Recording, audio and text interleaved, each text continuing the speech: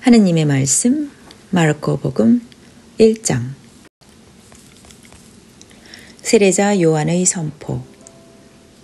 하느님의 아들 예수 그리스도에 관한 복음의 시작. 예언자 이사야의 글에 이제 내가 일꾼을 너보다 먼저 보내니 그가 내 갈 길을 미리 닦아 놓으리라. 하였고 또 광야에서 외치는 이의 소리가 들린다 너희는 주의 길을 닦고 그의 길을 고르게 하여라 하였는데 기록되어 있는 대로 세례자 요한이 광야에 나타나 회개하고 세례를 받아라. 그러면 죄를 용서받을 것이다. 하고 선포하였다.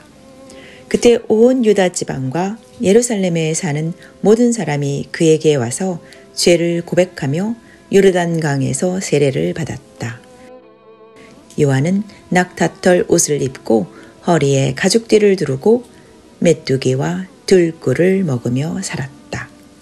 그는 사람들에게 이렇게 외쳤다. 나보다 더 훌륭한 분이 내 뒤에 오신다.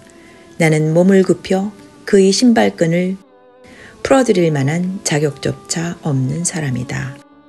나는 너희에게 물로 세례를 베풀었지만 그분은 성령으로 세례를 베푸실 것이다. 세례를 받으신 예수.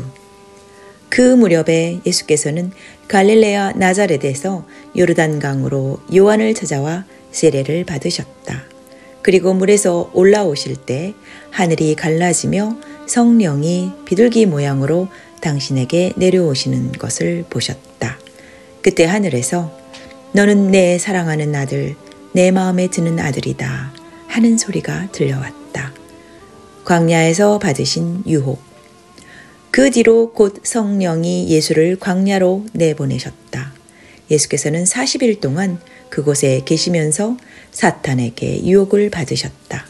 그동안 예수께서는 들짐승들과 함께 지내셨는데 전사들이 그분의 시중을 들었다. 갈릴레아 전도 시작. 요한이 잡힌 뒤에 예수께서 갈릴레아에 오셔서 하느님의 복음을 전파하시며 때가 다 되어 하느님의 나라가 다가왔다. 회개하고 이 복음을 믿어라 하셨다. 첫 번째로 부르심 받은 어부 네 사람. 예수께서 갈릴레아 호숫가를 지나시다가 호수에서 그물을 던지고 있는 어부 시몬과 그의 동생 안드레아를 보시고 나를 따라오너라. 내가 너희를 사람 낚는 어부가 되게 하겠다 하고 말씀하셨다. 그들은 곧 그물을 버리고 예수를 따라갔다. 예수께서 조금 더 가시다가 제베데오의 아들 야고보와 그의 동생 요한이 배에서 그물을 손질하고 있는 것을 보시고 부르시자 그들은 아버지 제베데오와 사꾼들을 배에 남겨둔 채 예수를 따라 나섰다. 악령 들린 사람을 고치신 예수. 예수의 일행은 가바르나움으로 갔다. 안식일에 예수께서는 회당에 들어가 가르치셨는데 사람들은 그 가르침을 듣고 놀랐다. 그 가르치시는 것이 율법 학자들과는 달리 권위가 있었기 때문이다. 그때 더러운 악령 들린 사람 하나가 회당에 있다가 큰 소리로 나자렛 예수님, 어찌하여 우리를 간섭하시려는 것입니까? 우리를 없애려고 오셨습니까? 나는 당신이 누구신지 압니다. 당신은 하느님께서 보내신 거룩한 분이십니다. 하고 외쳤다. 그래서 예수께서 입을 다물고 이 사람에게서 나가거라 하고 꾸짖으시자 더러운 악령은 그 사람에게 발작을 일으켜 놓고 큰 소리를 지르며 떠나갔다. 이것을 보고 모두들 놀라 이게 어찌된 일이냐? 이것은 권위 있는 새 교훈이다. 그의 명령에는 더러운 악령들도 굴복하는구나 하며 서로 수군거렸다. 예수의 소문은 삽시간에 온 갈릴레아와 그 근방에 두루 퍼졌다. 많은 병자를 고치신 예수. 얼마 뒤에 예수께서 회당에서 나와 야고보와 요한과 함께 시몬과 안드레아의 집에 들어가셨다.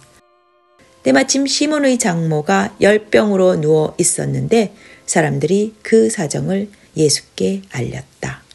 예수께서 그 부인 곁으로 가서 손을 잡아 일으키시자 열이 내리고 부인은 그들의 시중을 들었다.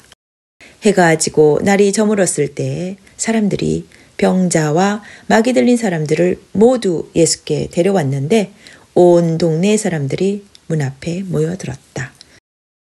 예수께서는 온갖 병자들을 고쳐주시고 많은 마귀를 쫓아내시며 자기 일을 입 밖에 내지 말라고 당부하셨다.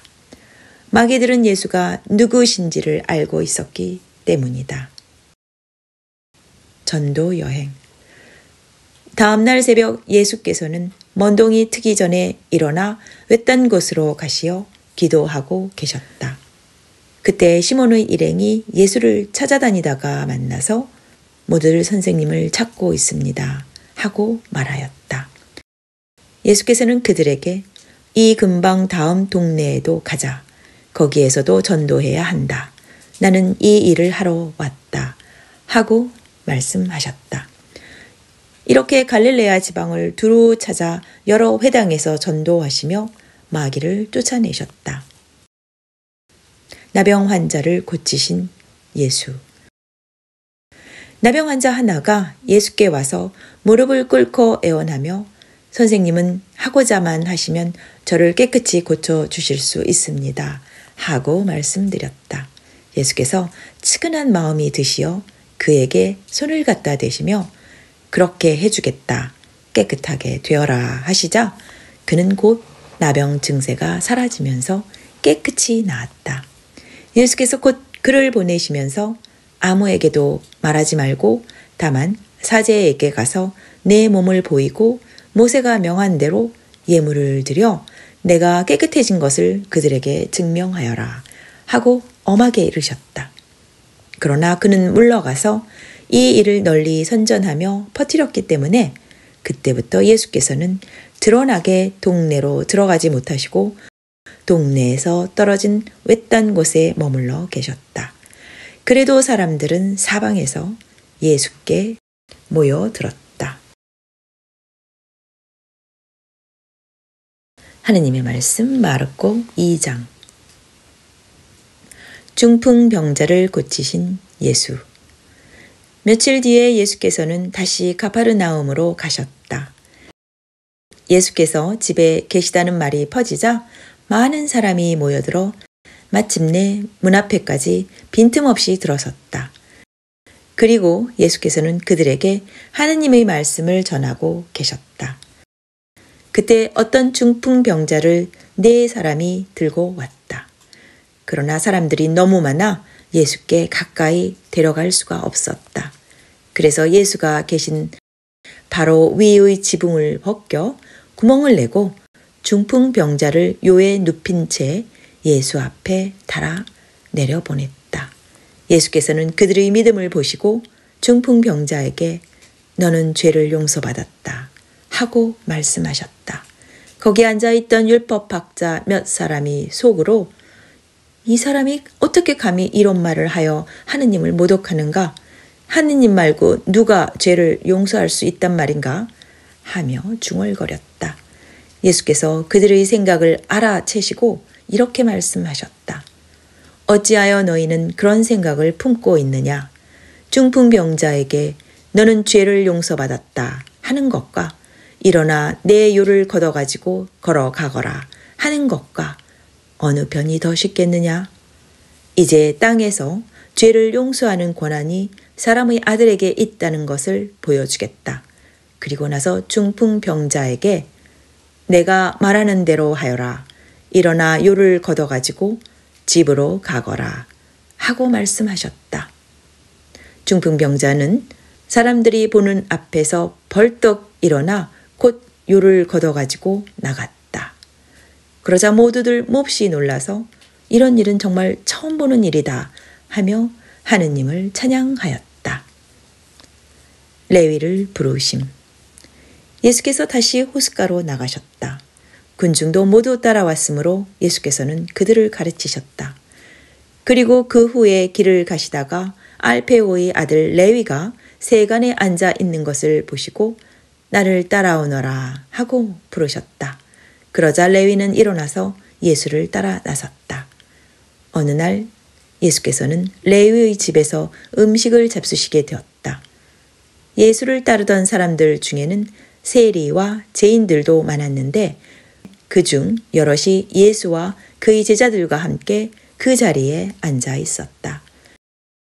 바리사이파의 율법 학자들은 예수께서 죄인과 세리들과 한 자리에서 음식을 나누시는 것을 보고 예수의 제자들에게 저 사람이 세리와 죄인들과 어울려 같이 음식을 나누고 있으니 어찌된 노릇이요? 하고 물었다.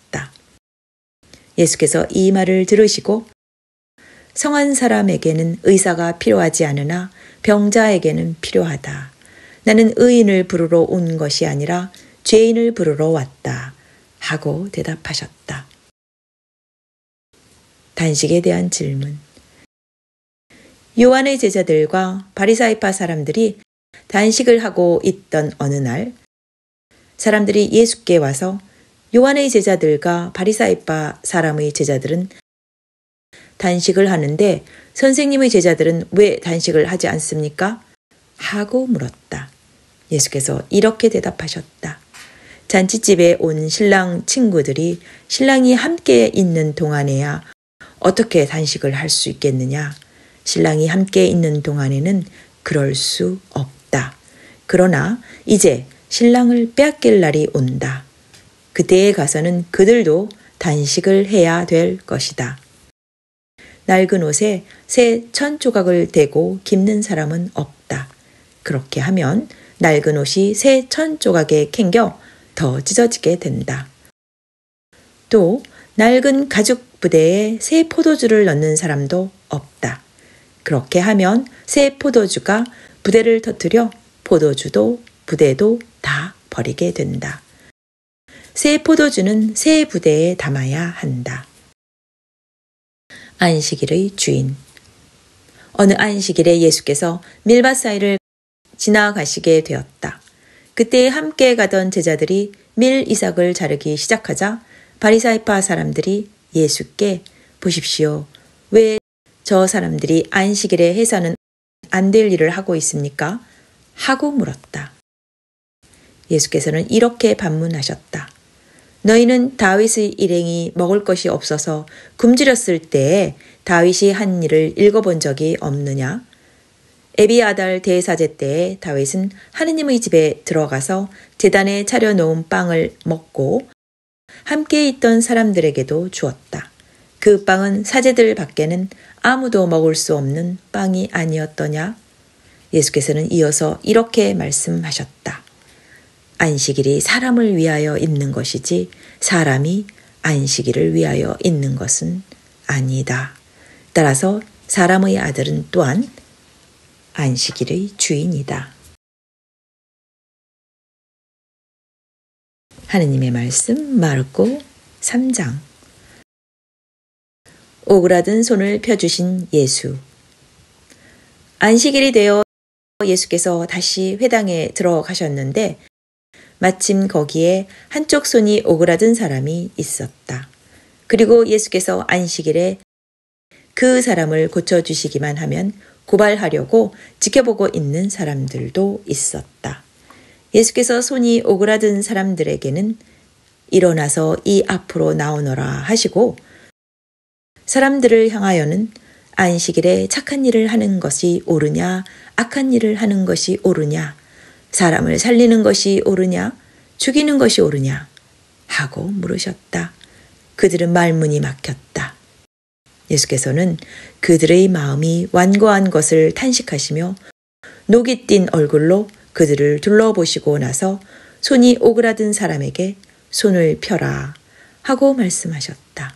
그가 손을 펴자 그 손은 이전처럼 성하게 되었다. 그러나 바리사이파 사람들은 나가서 즉시 헤로데 당원들과 만나 예수를 없애버릴 방도를 모의하였다. 호숫가에 모여든 군중. 예수께서 제자들과 함께 호숫가로 물러가셨을 때에 갈릴레아에서 많은 사람들이 따라왔다. 또 유다와 예루살렘과 에돔과 요르단강 건너편에 사는 사람들이며 띠로와 시돈 근방에 사는 사람들까지도 예수께서 하시는 일을 전해 듣고 많이 몰려왔다. 예수께서는 밀어 닥치는 군중을 피하시려고 제자들에게 거룩배 한 척을 준비하라고 이르셨다. 예수께서 많은 사람을 고쳐 주셨으므로 병으로 고생하는 사람들이 앞을 다투어 예수를 만지려고 밀려들었던 것이다. 또 더러운 악령들은 예수를 보기만 하면 그 앞에 엎드려 당신은 하느님의 아들이십니다. 하고 소리 질렀다. 그러나 예수께서는 그들에게 당신을 남에게 알리지 말라고 엄하게 명령하셨다. 열두 사도 예수께서 산에 올라가 마음에 두셨던 사람들을 부르셨다. 그들이 예수께 가까이 왔을 때에 예수께서는 열두를 뽑아 사도로 삼으시고 당신 곁에 있게 하셨다. 이것은 그들을 보내어 말씀을 전하게 하시고 마귀를 쫓아내는 권한을 주시려는 것이었다. 이렇게 뽑으신 열두 사도는 베드로라는 이름을 붙여주신 시몬과 천둥의 아들이라는 뜻으로 둘 다 보아네르게스라고 이름을 붙여주신 제베데오의 아들 야고보와 그의 동생 요한 그리고 안드레아, 필리포, 바르톨로메오, 마테오, 토마, 알페오의 아들 야고보, 타데오, 혁명당원 시몬 그리고 예수를 팔아 넘긴 가리오 사람 유다이다. 베일제불과 성령 예수께서 집에 돌아오시자 군중이 다시 모여들어서 예수의 일행은 음식을 먹을 겨를도 없었다. 이 소식을 들은 예수의 친척들은 예수를 붙들러 나섰다. 예수가 미쳤다는 소문이 돌고 있었기 때문이다. 예루살렘에서 내려온 율법 학자들도 예수가 베엘제불에게 사로잡혔다느니 또는 마귀 두목의 힘을 빌려 마귀를 쫓아낸다느니 하고 떠들었다. 그래서 예수께서는 그들을 불러다 놓고 비유로 말씀하셨다. 사탄이 어떻게 사탄을 쫓아낼 수 있겠느냐? 한 나라가 갈라져 서로 싸우면 그 나라는 제대로 설 수 없다. 또 한 가정이 갈라져 서로 싸우면 그 가정도 버티어 나갈 수 없다. 만일 사탄의 나라가 내분으로 갈라진다면 그 나라는 지탱하지 못하고 망하게 될 것이다. 또 누가 힘센 사람의 집에 들어가서 그 세간을 털어가려면 그는 먼저 그 힘센 사람을 묶어 놓아야 하지 않겠느냐? 그래야 그 집을 털 수 있을 것이다. 나는 분명히 말한다. 사람들이 어떤 죄를 짓든 입으로 어떤 욕설을 하든 그것은 다 용서받을 수 있으나 성령을 모독하는 사람은 영원히 용서받지 못할 것이며 그 죄는 영원히 벗어날 길이 없을 것이다. 이 말씀을 하신 것은 사람들이 예수를 더러운 악령에 사로잡혔다고 비방했기 때문이다. 누가 내 어머니이고 내 형제들이냐? 그때 예수의 어머니와 형제들이 밖에 와 서서 예수를 불러달라고 사람을 들여보냈다. 들러 앉았던 군중이 예수께 선생님, 선생님의 어머님과 형제분들이 밖에서 찾으십니다. 하고 말하였다. 예수께서는 누가 내 어머니이고 내 형제들이냐? 하고 반문하시며 둘러앉은 사람들을 돌아보시며 말씀하셨다. 바로 이 사람들이 내 어머니이고 내 형제들이다. 하느님의 뜻을 행하는 사람이 곧 내 형제요, 자매요, 어머니이다. 하느님의 말씀 마르코 4장 씨 뿌리는 사람의 비유 예수께서 다시 호숫가에서 가르치셨다. 군중이 너무나 많이 모여들었기 때문에 예수께서는 배를 타고 그 안에 앉으신 다음 배를 물에 띄웠다. 그리고 군중은 모두 호숫가에 그대로 서 있었다. 예수께서는 비유로 여러 가지를 가르치시면서 이렇게 말씀하셨다. 자, 들어보아라. 씨 뿌리는 사람이 씨를 뿌리러 나갔다. 씨를 뿌리는데 어떤 것은 길바닥에 떨어져 새들이 와서 쪼아먹고 어떤 것은 흙이 많지 않은 돌밭에 떨어졌다. 흙이 깊지 않아서 싹은 곧 나왔지만 해가 뜨자 뿌리도 내리지 못한 채 말라버렸다. 또 어떤 것은 가시덤불 속에 떨어졌다. 가시나무들이 자라자 숨이 막혀 열매를 맺지 못하였다. 그러나 어떤 것은 좋은 땅에 떨어져서 싹이 나고 잘 자라 열매를 맺었는데 열매가 30배가 된 것도 있고 60배가 된 것도 있고 100배가 된 것도 있었다. 예수께서는 이어서 들을 끼가 있는 사람들은 알아들어라 하고 말씀하셨다. 비유로 말씀하신 이유. 예수께서 혼자 계실 때에 예수를 따르는 사람들이 열두 제자와 함께 와서 비유의 뜻을 물었다. 예수께서는 이렇게 대답하셨다. 너희에게는 하느님 나라의 신비를 알게 해 주었지만 다른 사람들에게는 모든 것을 비유로 들러준다. 그것은 그들이 보고 또 보아도 알아보지 못하고 듣고 또 들어도 알아듣지 못하게 하려는 것이다. 그들이 알아보고 알아듣기만 한다면 나에게 돌아와 용서를 받게 될 것이다. 씨 뿌리는 비유의 설명. 예수께서는 이어서 이렇게 말씀하셨다.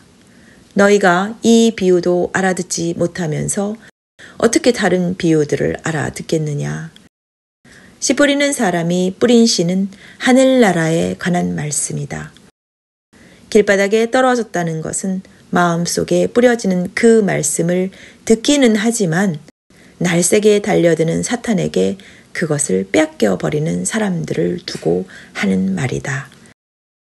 씨가 돌밭에 떨어졌다는 것은 그 말씀을 듣고 기꺼이 받아들이기는 하지만 그 마음속에 뿌리가 내리지 않아 오래가지 못하고 그 후에 말씀 때문에 환난이나 박해를 당하게 되면 곧 넘어지는 사람들을 두고 하는 말이다. 그리고 씨가 가시 덤불 속에 떨어졌다는 것은 그 말씀을 듣기는 하지만 세상 걱정과 재물의 유혹과 그 밖에 여러 가지 욕심이 들어와서 그 말씀을 가로막아 열매를 맺지 못하는 사람들을 두고 하는 말이다. 그러나 씨가 좋은 땅에 떨어졌다는 것은 그 말씀을 듣고 잘 받아들여 30배, 60배, 100배의 열매를 맺는 사람들을 두고 하는 말이다. 등불의 비유. 예수께서는 또 이렇게 말씀하셨다. 등불을 가져다가 뒷박 아래나 침상 밑에 두는 사람이 어디 있겠느냐? 누구나 등경 위에 얹어놓지 않느냐? 감추어 둔 것은 드러나게 마련이고 비밀은 알려지게 마련이다. 들을 기가 있는 사람은 알아들어라. 또 말씀하셨다. 내 말을 마음에 새겨들어라. 너희가 남에게 달아주면 달아주는 만큼 받을 뿐만 아니라 덤까지 얹어 받을 것이다. 누구든지 가진 사람은 더 받을 것이며 가지지 못한 사람은 그 가진 것마저 빼앗길 것이다. 자라나는 씨의 비유. 예수께서 또 말씀하셨다. 하느님 나라는 이렇게 비유할 수 있다. 어떤 사람이 땅에 씨앗을 뿌려 놓았다. 하루하루 자고 일어나고 하는 사이에 씨앗은 싹이 트고 자라나지만 그 사람은 그것이 어떻게 자라는지 모른다. 땅이 저절로 열매를 맺게 하는 것인데 처음에는 싹이 돋고 그 다음에는 이삭이 패고 마침내 이삭의 알찬 나달이 맺힌다. 곡식이 익으면 그 사람은 추수 때가 된 줄을 알고 곧 낫을 댄다.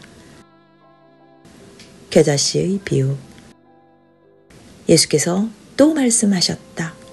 하느님 나라를 무엇에 견주며 무엇으로 비유할 수 있을까? 그것은 겨자씨 한 알과 같다. 땅에 심을 때에는 세상의 어떤 씨앗보다도 더욱 작은 것이지만 심어 놓으면 어떤 푸성기보다도 더 크게 자라고 큰 가지가 뻗어서 공중의 새들이 그 그늘에 기들일 만큼 된다. 비유로 가르치신 예수. 예수께서는 그들이 알아들을 수 있을 정도로 이와 같은 여러 가지 비유로서 말씀을 전하셨다. 그들에게는 이렇게 비유로만 말씀하셨지만 제자들에게는 따로 일일이 그 뜻을 풀이해 주셨다. 잔잔해진 풍량. 그날 저녁이 되자 예수께서 제자들에게 호수 저편으로 건너가자 하고 말씀하셨다. 그래서 그들이 군중을 남겨둔 채 예수께서 타고 계신 배를 저어 가자 다른 배들도 함께 따라갔다. 그런데 마침 거센 바람이 일더니 물결이 배 안으로 들이쳐서 물이 배에 거의 가득 차게 되었다. 그런데도 예수께서는 백고물을 베개 삼아 주무시고 계셨다. 제자들이 예수를 깨우며 선생님, 저희가 죽게 되었는데도 돌보시지 않습니까? 하고 부르짖었다. 예수께서 일어나 바람을 꾸짖으시며 바다를 향하여 고요하고 잠잠해져라 하고 호령하시자 바람은 그치고 바다는 아주 잔잔해졌다. 그렇게 하시고 나서 예수께서는 그들에게 왜 그렇게들 겁이 많으냐? 아직도 믿음이 없느냐? 하고 책망하셨다. 그들은 두려움에 사로잡혀 도대체 이분이 누구인데 바람과 바다까지 복종할까 하며 서로 수근거렸다. 여기까지 하느님의 말씀 마르코 복음 1장부터 4장이었습니다.